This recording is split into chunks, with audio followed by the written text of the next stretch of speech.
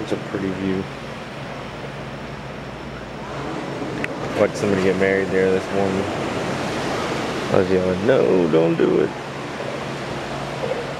Oh, they were just renewing their vows. There's the bar we hung out at last night for a little bit. By the pool.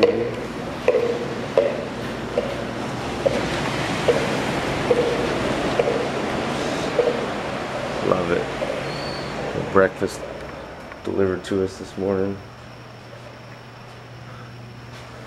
It's fun.